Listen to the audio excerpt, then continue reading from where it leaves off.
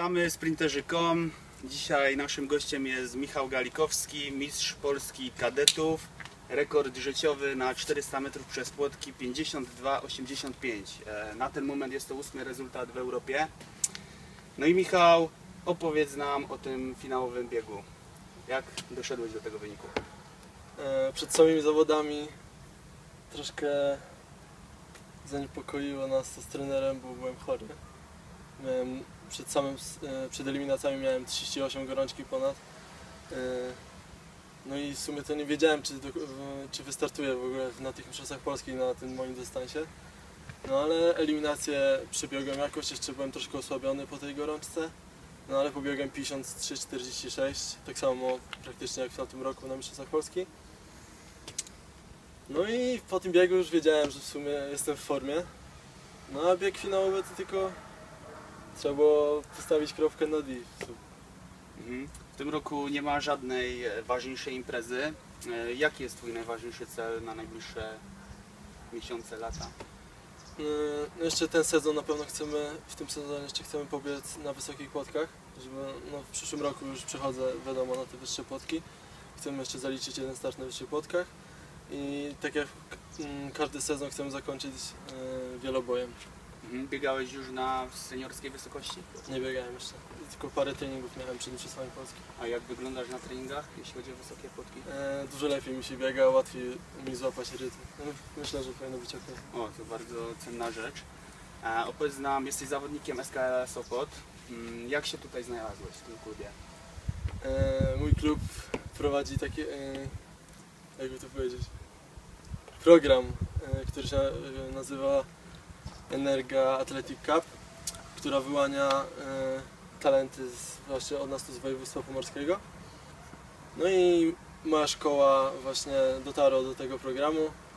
E, Tutaj odbywają się na stadionie leśnym zawody właśnie co jakiś czas i no to dzięki temu właśnie jestem tutaj w tym klubie się znalazłem, bo dokładnie ja nie jestem z Sopotu, tylko jestem z Bytowa. Mhm. Zanim zostałeś e, lekkoatletą, byłeś piłkarzem w Bytowie. E, Ile lat kopałeś piłkę, zanim zająłeś się płotkami?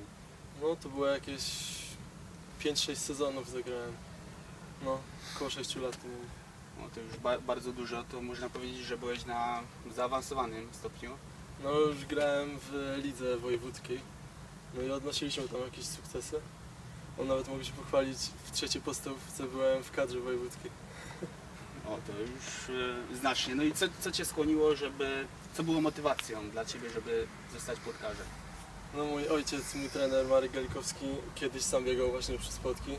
No i od wielu lat jest trenerem jako atletyki. No i on mnie zawsze trochę ściągał na tą drugą stronę, żebym zawsze mnie zabierał na zawody, jakieś tam yy, przełaje i takie sprawy. No i później były te czwartki lekkoatletyczne.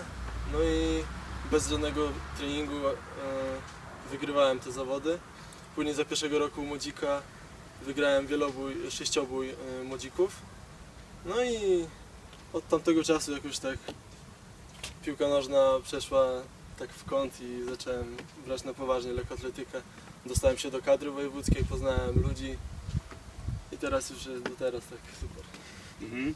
E, Opowiedz nam o swoich treningach. E, Jak one mniej więcej wyglądają, jeżeli chodzi o charakterystyczne cechy, skoczność, wytrzymałość. E, Od września jestem tutaj w szkole w Gdańsku, a do tego czasu trenowaliśmy z tatą trzy razy w tygodniu i nie były to jakoś specjalistyczne treningi. Robiliśmy gimnastykę, dużo e, jakieś tam salta, rundaki, fiflaki, w koszykówkę graliśmy. Dopiero od września tutaj trenuję pięć razy w tygodniu. No, biegam raz w tygodniu tempo, jakieś takie mocniejsze. A tak to siłownię robię na TRX-ach pasach, nie robię jeszcze siłowni pełnej e, ze sztangą. No jeszcze można powiedzieć, że się bawimy trochę tym treningiem. Już w przyszłym sezonie już chcemy wejść w taki poważniejszy trening. Mhm. Wspomniałeś tutaj o akrobatyce i to w dosyć takim bardzo jeszcze wczesnym e, wieku. E, Dobrze Ci to wychodzi? Dobrze chyba, no moim zdaniem dobrze. Nie było oporów przed wykonywaniem fiflaków, Nie, nie, sal do tyłu? Nie, od małego zawsze bawiliśmy się z tatą na materacach i tak dalej, więc Nie, nie jest mi to obce. Mhm. I powiedz mi, jak e, odwaga, którą nabyłeś w toku ćwiczeń akrobatycznych przekłada się na pokonywanie płotków? Jest jakiś? No na pewno jest to duży plus, bo nie mam jakichś takich oporów właśnie. Jest Mhm. okej. Jest okej. Aha. E, mówisz, że trenowałeś trzy razy w tygodniu. Teraz na ten moment jak to wygląda? Pięć razy w tygodniu. Pięć razy w tygodniu. I kiedy przerwa? E, Zazwyczaj w czwartki nie trenuję, jak inni robią siłownię, to wtedy odpuszczam sobie dzień i niedziela wolna. Mhm. E, Na co dzień trenujesz tutaj na Sopockim Stadionie Leśnym. E, Natomiast e, kiedy przychodzi sezon zimowy, to gdzie? E, Tutaj w okolicach mamy piękne lasy, to tutaj zazwyczaj robimy treningi. Siłownia tutaj na miejscu, tak? tak, tak. Nie ma hali z bieżnią. Znaczy hala z bieżnią to też jeździmy na treningi na AWF-ie w Gdańsku. Co jest Twoim celem na najbliższe, na najbliższe lata? No, w przyszłym roku docelową imprezą są Mistrzostwa Europy w Szwecji, na których mam zamiar wystartować na 400 metrów przez płotki. Chociaż jeszcze nie wiadomo, możliwe, że wystartuję w 10 boju. Zależy jak to się wszystko potoczy. To chyba wszystko. Mhm. Jesteś dwukrotnym halowym mistrzem e, kadetów, e, jeśli chodzi o e, wielobój. Powiedz nam, Michał, jak zachęcić młodzież, żeby spróbowała swoich sił w lekkiej atletyce? E, Lekkoatletyka nie tak jak na przykład piłka nożna jest sportem indywidualnym. Każdy tutaj znajdzie coś dla siebie poprzez skoczność, nie wiem, ktoś jest wytrzymały, są biegi długodystansowe, rzuty i tak dalej. No i tak jak powiedziałem jest to sport indywidualny i każdy polega na sobie. Powiedz nam, Michał, jak spędzasz czas wolny tutaj w Sopocie? No wiadomo tutaj u nas kurort jest taki, to zazwyczaj chodzimy ze znajomymi na plażę. Chyba tylko to można tutaj robić. Z tego, z tego co wiem, to uprawiasz sporty wodne. No też. E, Jakie to są? jakiś windsurfing czy coś, można chodzić ze znajomymi, pograć w siatkówkę plażową. No jest mnóstwo tutaj Atrakcji? atrakcji właśnie. Mhm. Opowiedz nam coś jeszcze o swoich pasjach e, poza, poza sportowych. Chyba nie ma takich. E, Jeśli gdybyś nie był e, lekkoatletą, zostałbyś najprawdopodobniej piłkarzem, tak? Całkiem możliwe, chociaż Są jeszcze inne dyscypliny? już mogę grać w, kiedyś nawet. E, grałem dwa sezony w siatkówkę w profesjonalnej drużynie, też w lidze wojewódzkiej. Kiedyś też próbowałem w judo, w karate nawet trenowałem chwilę. No jak Duże jest możliwość. Mhm. Czyli jak widzimy, no jesteś bardzo wszechstronnym zawodnikiem.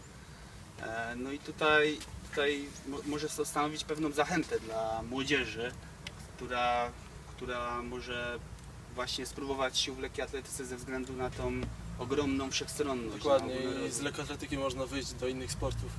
Nie tak jak na przykład, nie wiem, z pływania już ciężko raczej do lekkoatletyki dojść. Mhm. A dzięki temu, że możemy się ogólnie rozw- rozwijać w lekkoatletyce, możemy przejść do innych konkurencji, do innych sportów właśnie. Mhm. No nic, tutaj mamy żywy dowód, e, że Michał będąc w lekkiej atletyce potrafi być e, świetnym piłkarzem, świetnym koszykarzem, pływakiem, e, a także judoką. E, No i co tutaj dużo mówić, no, życzymy jak najwięcej szczęścia w przyszłych latach e, startowych. No i wszystkiego najlepszego.